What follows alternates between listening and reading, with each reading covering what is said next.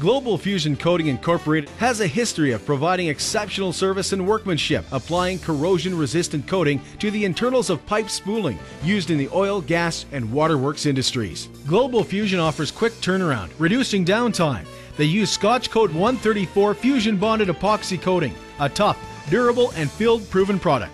Our premise is simple give quality workmanship and use a quality product while maintaining an open and honest relationship with our customers. Quality and safety are a top concern with management and staff here at Global, and we strive to adhere to or surpass industry standards with our integrated quality and safety program. All parts are identified, tagged, and inventoried when they arrive. A checklist is performed for the procedures required on the project. Every step of the preparation and coating process is inspected and permanently recorded on Global's quality assurance test documents. Flange faces are beveled, all anomalies such as weld splatter and high or sharp welds are removed, and the piping is abrasive blasted to a white metal finish. All abrasive blasting is performed in Global's indoor blasting bay, using and recycling metal blast media, minimizing the health hazards associated with silica sand blasting. The blast profile is measured using Press-O-Film impression tape.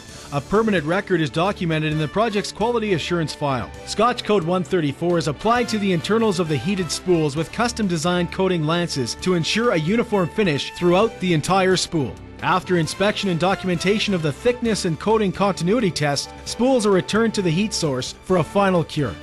Alkyd primer is then applied to the externals, or alternatively, a customer requested primer or top coat.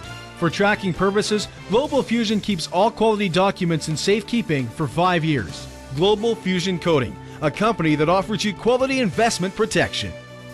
For more information, contact Global Fusion Coating Incorporated